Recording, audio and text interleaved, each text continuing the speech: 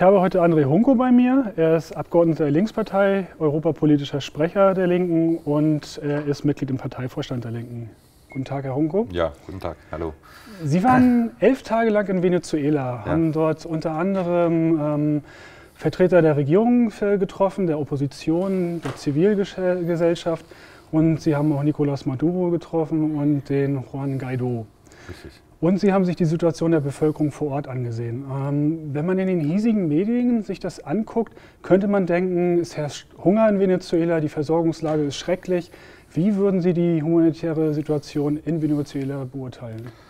Also die Situation ist zweifellos ernst. Mhm. Ähm, man muss aber auch mit der Begrifflichkeit ein bisschen aufpassen, weil von der Begrifflichkeit wiederum abhängt, ob möglicherweise Militäreinsätze legitimiert werden. Mhm. Äh, deswegen ist auch die äh, Regierung in Venezuela sehr zurückhaltend, äh, damit die Situation als humanitäre Krise zu besch beschreiben, die sozusagen einen solchen Militäreinsatz nach Responsibility to Protect legitimieren könnte. Mhm. Ähm, wenn man, ich war im Zentrum von Caracas, man hat mich auch gewarnt, dahin zu gehen, das sei so gefährlich und das ist auch eher sozusagen die normale Bevölkerung, die da lebt. Die reicheren, die Mittelschichten leben eher im Osten von Caracas. Ich habe also war die ganzen elf Tage auch im Zentrum. Wenn man durch die Straßen geht, hat man jetzt nicht den Eindruck einer, einer ähm, ganz dramatischen humanitären Situation. Geschäfte sind gefüllt mit Lebensmitteln, Menschen kaufen ein, man sieht vielleicht ein paar Schlangen vor Bankautomaten, das ist tatsächlich ein großes Problem. Mhm ähm, weil äh, sozusagen die Inflation so hoch ist und die Währung, man nicht genug Scheine hat letztlich äh, ja, im Umlauf. Ähm, aber es ist nicht so, dass, dass Menschen da rumsitzen und, und hungern. Äh, und äh, also ich war dann doch überrascht, wie normal mhm. erstmal das Bild so erscheint. Gleichwohl ist es natürlich so, vor allen Dingen bedingt durch die Wirtschaftssanktionen, die ja auch dann zum dramatischen Einbruch der Staatseinnahmen geführt haben und zum Einbruch auch der Wirtschaft, äh, dass die natürlich massive Auswirkungen haben. Es mhm. gibt jetzt eine Studie von zwei renommierten US-Ökonomen, Jeffrey Sachs und Mark Weisbrot, äh, die gehen von 40.000 Toten okay. durch die Sanktionen bis Ende 2018 schon aus. Okay. Also das ist natürlich schon eine dramatische Zahl. Mhm. Und dann trifft es natürlich immer die Schwächsten, die Leute, die lebensgefährlichen Krankheiten in Krankenhäusern sind, äh, ähm, äh, und, und, und so weiter, ähm, die, die, dann vielleicht äh, die Versorgung nicht mehr gewährleistet bekommen. Mhm. Aber trotzdem, vom, wenn man so durch das Stadtbild geht, dann hat man nicht, jetzt nicht diesen dramatischen Eindruck. Ähm, es ist nur zynisch, ja, wenn, einerseits von einer, wenn man einerseits die Wirtschaftssanktionen macht, die ja nachweislich diese, ja. zu den humanitären Effekten führen und dann gleichzeitig diese humanitären Situation als Anlass nimmt, wieder auch noch militärisch äh, äh, zu intervenieren. Das ja. ist also wirklich ausgesprochen zynisch und ich finde es ich find es schlimm, dass die deutschen Medien diesen Zusammenhang überhaupt nicht darstellen. Mhm. Wie ist es mit den Hilfsorganisationen? Wird Ihre Arbeit behindert von der Regierung? Ich habe ähm, das äh, Internationale Rote Kreuz in Caracas getroffen, mhm. äh, die Vertreterin, äh, die Leiterin äh, und auch die Panamerikanische Gesundheitsorganisation. Beide haben mir berichtet, dass sie völlig problemlos ähm, ihre, gemäß ihrer Statuten, ihrer Neutralitätsverpflichtungen und so weiter äh, ihre Arbeit machen können. Ja. Ähm, äh, und die Darstellungen, die es hier gibt, ähm, dass äh, ähm, humanitäre Hilfsorganisationen entweder gar nicht zugelassen sind, das wird ja manchmal auch behauptet, äh, oder dass sie bedroht seien durch die Kollektivos zum Beispiel, das ist das sind sozusagen Basismilizen der bolivarischen Revolution. Mhm. Das äh, hat sich überhaupt gar nicht bestätigt. Im Gegenteil, ähm, also die haben beide, und ich habe mehrfach nachgefragt, beide im Beisein auch der deutschen Botschaft gesagt, äh, dass sie ihre Arbeit machen können. Und mhm. ich finde, dass, äh, dass eben die Bundesregierung die zugesagten 5 Millionen Euro für humanitäre Hilfe ja. Äh, dass sie auch die, die, diesen neutralen Hilfsorganisationen zur Verfügung stellen sollen. Das macht die Bundesregierung ja nicht. Die werden derzeit noch zurückgehalten. Die werden zurückgehalten ja. Äh, und die Bundesregierung behauptet, äh, dass die Bedingungen für neutrale Hilfe nicht gegeben seien in Venezuela. Mhm. Mhm. Und dass die Organisationen bedroht seien. Ich habe sie genau danach befragt und sie haben, ja. haben das absolut zurückgewiesen und gesagt, wir können unsere Arbeit machen. Ähm, es scheint so zu sein, dass die humanitäre Hilfe Teil eines, also die von der Bundesregierung in Auftrag und angekündigte äh, humanitäre Hilfe mhm. ja Teil einer Regime-Change-Strategie ist, mhm. denn wirklich, um wirklich Hilfe zu leisten. Ja. Nun ist es so, dass eigentlich hätte man erwarten können, dass diese Reise der deutsche Außenminister Heiko Maas unternehmen sollte, die Sie, die, die Sie jetzt gemacht haben. Ja. Warum macht es der deutsche Außenminister nicht und trifft sich stattdessen lieber in Brasilien mit einem rechtsradikalen Präsidenten? Ja, das müssten Sie ihn fragen. also es ist äh, aber in der Tat so gewesen, das wusste ich auch gar nicht, als ich dann da hingefahren bin, äh, dass wenige Tage später dann Heiko Maas zunächst nach äh, äh, Brasilien gefahren ist, sich mit wirklich einem rechtsextremen Präsidenten dort getroffen hat, mhm. von dort aus auch nochmal den dann schon stattfindenden Putschversuch von Guaido am 30. April de facto unterstützt hat, indem er gesagt hat, unsere Unterstützung gilt weiterhin für Guaido. Mhm. Ja. Äh, und sich dann nach, Kolum nach, Kolumbien fährt und in Kolumbien nur mit dem radikalen Teil der Opposition äh, trifft, mhm. die natürlich auch ein bestimmtes Bild zu Venezuela vermitteln auf die sich dann wiederum Heiko Maas stützt äh, und dann verkündet, äh, die Sanktionen müssen verschärft werden. Ja. Da geht es mehr um die individuellen Sanktionen, aber er fordert dann nochmal Verschärfung der Sanktionen. Äh, und das ist natürlich, ich finde es, ich es eine erbärmliche Außenpolitik. Ja, ähm, man, Im Zentrum steht gegenwärtig Venezuela. Ja. Man, man verkündet Sanktionen, es droht möglicherweise ein Bürgerkrieg, es droht eine militärische Intervention. Und der deutsche Außenminister fährt in die zwei großen Nachbarländer, äh, ähm, aber macht den Bogen um das Land, um das es eigentlich geht äh, und weigert sich, ein eigenständiges Bild sich zu machen, dort mit beiden Seiten zu sprechen und dann vielleicht Vorschläge zu machen. Das mhm. ist wirklich, äh, und man muss mal sagen, seit 20 Jahren, seit 1998, seitdem Hugo Chavez die Wahlen gewonnen hat, mhm. war kein deutscher Minister in Venezuela. Mhm. Und das spricht eigentlich Bände.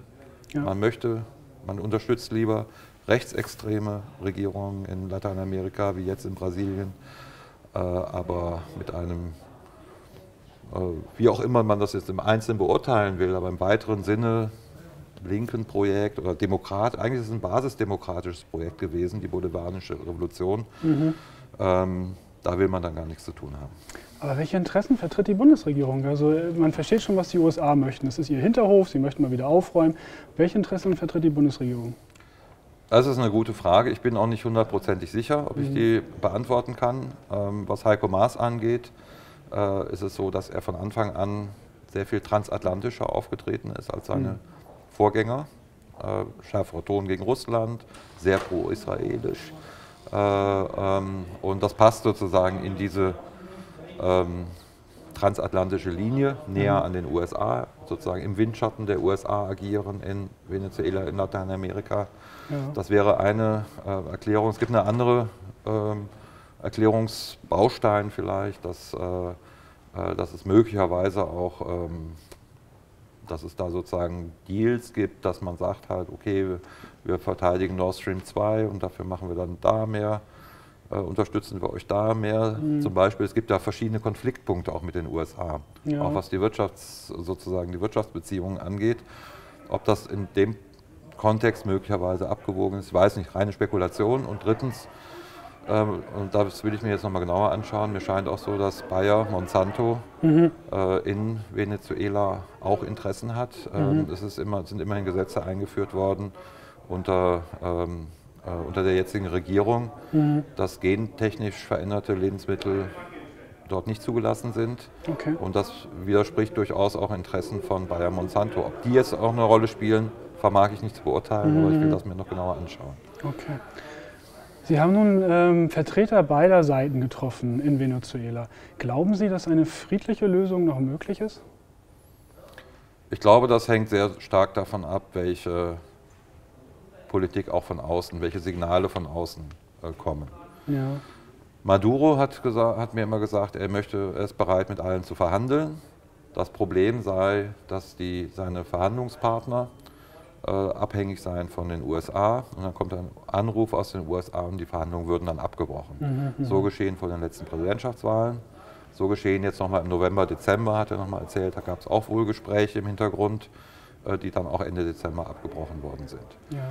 Guaido sagt im Augenblick, äh, Verhandlungen sind nur Zeitgewinn für die Regierung und mhm. sieht seine Hoffnung in einem schnellen Sturz der Regierung Maduro.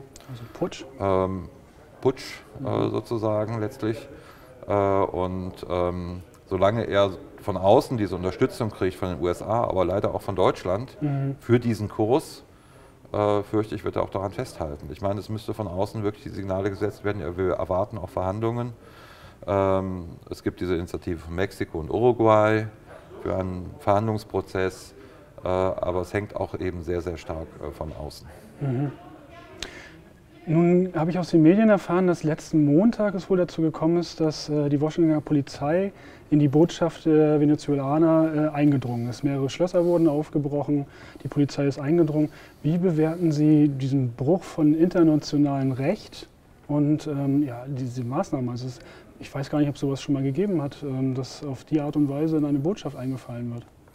Also es ist eindeutig ein Bruch der Wiener Übereinkommen. Mhm. Das sind sozusagen die, die, diplomatischen Beziehungen zwischen Staaten regeln. Mhm. Man muss sich einfach mal vorstellen, es geht ja nicht darum, ob man irgendwelche Regierungschefs gut oder schlecht findet. Es gibt sozusagen auf der diplomatischen Ebene völlig unabhängig davon, äh, gibt es eben Botschaften, die sind äh, äh nach bestimmten Regeln geschützt. Äh, und da können die schlimmsten Vertreter der schlimmsten Verbrecher natürlich auch drin sitzen, aber das ist eben auch Teil der internationalen Diplomatie. Mhm. Sonst käme man in eine Situation, dass man gar keine Vertretung mehr, mehr hätte äh, untereinander. Mhm. Deswegen macht das natürlich schon Sinn, deswegen gibt es auch so ein Wiener Übereinkommen, äh, was diplomatische Beziehungen angeht und das ist wirklich ein Bruch dieser, Bezie äh, dieser ähm, dieses Übereinkommens. Ich verurteile das sehr deutlich, ich erwarte eigentlich auch von der Bundesregierung und der internationalen Gemeinschaft, mhm. dass so etwas verurteilt wird weil sonst reißt es ein. Man kann doch nicht einfach hingehen und sagen, dich erkenne ich nicht an, ich erkenne den an und deine Botschafter, die du hier hast, die schmeiße ich jetzt raus. Und äh, ich meine, wenn das Einzug hält in der internationalen Politik, wo kommen wir dann hin? Das ist ja. völlig irre äh, und es muss wirklich deutlich verurteilt werden. Mhm. Ja, es ist quasi ein Überfall auf fremdes Staatsgebiet muss man sagen. So kann man es äh, formulieren. Mhm. Ne? Es wird sich natürlich gestützt, dass Guaido äh, sozusagen seine Vertreter geschickt hat. Mhm. Aber wie gesagt, wer entscheidet denn darüber, äh, ähm, wer Präsident ist, wer legitim ist und wer nicht legitim ist? Und hier nehmen sich einfach 50 Staaten, die immer behaupten, sie wären die Weltgemeinschaft, mhm. das Recht heraus zu handeln wie die UNO. Ein großer ja. Teil der Welt teilt diese Auffassung nicht. Russland, China, Südaf ganz Afrika eigentlich, Indien, sogar einzelne europäische Staaten. Äh, und äh, ich finde das ähm, unglaublich, was hier passiert gerade. Mhm. Wie beurteilen Sie die Reaktionen der Presse in Deutschland? Also gerade nach Ihrem Besuch, also ich habe im Spiegel zum Beispiel von Empörung gelesen, im Tagesspiegel habe ich gelesen, die merkwürdige Reise eines linken Politikers. Wie ja. beurteilen Sie das? Naja, ich meine, das war eine, ich war ja, als das hier hochgegangen ist, war ich ganz im Südosten Venezuelas, Südwesten Venezuelas im Nationalpark. Mhm. Kein Empfang, äh, hatte davon ja. überhaupt nichts mitgekriegt. Deswegen äh, ähm, habe ich das erst sozusagen im Nachgang alles so äh, verfolgen können. Ähm, ich, äh, es ist ähm, offenbar fühlten sich manche Leute getroffen, mhm. gerade weil Heiko Maas wenige Tage später dahin gefahren ist und das so ein bisschen äh, da, das konterkariert hat, was er gemacht hat. Ähm, und es war natürlich einer der typischen Aufreger, ja. ähm, wie soll ich sagen, äh, so eine Aufreger. Äh, Filterblase mhm. in den mhm. Medien, ähm, wo dann auch dann auch eigentlich wieder langsam zurückgerudert wurde. Wo er hat sich ja mit beiden Seiten getroffen. Warum macht das eigentlich nicht Heiko Maas? Äh, und so weiter. Ist, die Aufregung ist dann auch schnell wieder abgeebbt. Mhm. Und ich habe aus der Bevölkerung und E-Mails so unglaublich viel Unterstützung gekriegt. Also ja. die haben also es gab vielleicht vereinzelt auch Mails, die sozusagen Teil dieser Aufre diesem Aufregungsspin sozusagen äh, agiert haben, formuliert haben. Aber der Großteil der, der, der Rückmeldung von Leuten, die ich überhaupt nicht kenne, war halt äh, sehr positiv. Sie haben ja. Mut, sie sprechen mit beiden Seiten, sie gehen dahin, wo, wo es äh, wo es wichtig ist, äh, warum macht das Heiko Maas nicht? Ja. Warum trifft er sich dann in Brasilien mit dem rechtsextremen Präsidenten? So, das, in dieser Richtung habe ich wirklich sehr viele mhm. E-Mails gekriegt. Sie berichten auch objektiv, ja. weil in den Medien wird immer nur völlig einseitig berichtet. Es wird überhaupt nicht berichtet, dass Maduro und die Regierung eine erhebliche Unterstützung hat. Ich weiß nicht, ob es die Mehrheit ist, aber eine erhebliche Unterstützung, mhm. äh, wie man am 1. Mai auch bei diesen riesigen Demonstrationen sehen konnte und sich keinesfalls nur aufs Militär stützt. Das ja. ist ja eine Propagandafigur hier. Stimmt ja überhaupt gar nicht. Mhm. Ne? Selbst wenn das Militär sozusagen die Seiten wechseln würde, äh, hätte man äh, eben noch einen, großen, einen guten Teil, einen erheblichen Anteil einer recht gut organisierten Bevölkerung gegen sich. Ja. Und auch die Gefahr eines Bürgerkriegs. Wird hier überhaupt gar nicht berichtet. Mhm. Unfassbar. Genau solche Sachen sieht man halt nicht. Und ähm, man kann ja schon von einer regelrechten Gleichschaltung der Medien kann man ja sprechen. Also völkerrechtlich gesehen ist es glasklar eigentlich. Es ist ein gewählter Präsident, äh, wo nicht einfach jemand kommen kann und sich selber als Präsident ausruft. Ähm, wie Sie sagen, die Bevölkerung sieht es auch so. Wie, wie, wie, kommt es zu einer Gleichschaltung der Medien? Also es wird ja ein Narrativ transportiert, was überhaupt nicht der Wahrheit entspricht. Also wir haben das leider schon häufiger beobachtet, gerade wenn, es, wenn Kriege vorbereitet werden oder wenn ein Regime-Change vorbereitet äh, wird, mhm. dass wir diese Dimension der ähm, ja, Gleichförmigkeit dann auch der Propaganda hier in den, in den Medien haben. Ähm, und das macht mir ja gerade so viel Sorgen, ja, weil mhm. umgekehrt kann man auch sagen, wenn auf einmal so einseitig berichtet wird, dann ist die Gefahr, dass, dass sich dahinter ähm, äh, eben genauso ein Regime-Change-Plan äh, ja. befindet. Ähm, da sind halt äh, im Grunde genommen braucht, braucht man wahrscheinlich nur ein paar Stellen, Schlüsselstellen in den, in den, in den Agenturen und so weiter, dort äh, vielleicht zu bedienen, um so eine Darstellung halt zu erzeugen. Ja. Aber auch die letzten Tage, es geht immer weiter. Ja? Also man sieht jeden Tag wird nochmal, jetzt habe ich nur gestern, vorgestern nochmal ZDF was gesehen, mhm. wie, wie Jungs sozusagen aus dem, aus dem äh, Fluss bei Caracas versuchen so ein bisschen noch Wertgegenstände herauszuholen, mhm. um, um, um, um davon zu leben. Ja, ist es schlimm, aber es wird überhaupt nicht erwähnt, das könnte vielleicht auch was mit den Sanktionen zu tun haben. Ja. Ja das wird, wird einfach totgeschwiegen. Die mhm. Studie, die ich erwähnt habe, Jeffrey Sachs, wirklich international renommierter Ökonom, mhm. spricht von 40.000 Toten durch die Wirtschaftssanktionen. Gestern nochmal nachgeschaut. Mhm. Es ist in keinem großen deutschen Medium überhaupt nur erwähnt worden mhm. auch nur erwähnt worden. Ja. Man kann ja dann vielleicht auch die, die Kriterien, könnte man diskutieren, ob die Studie, ob das sauber ist oder nicht sauber ist, wie er das sozusagen errechnet, das ist ja alles, aber es wird hier noch nicht mal erwähnt. Mhm. Das ist wirklich fassungslos, macht mich fassungslos, wie hier ähm, über so eine Situation berichtet wird. Herr Honko, ich danke Ihnen, dass Sie uns über Ihre Reise erzählt haben. Danke für das Gespräch. Bitte schön.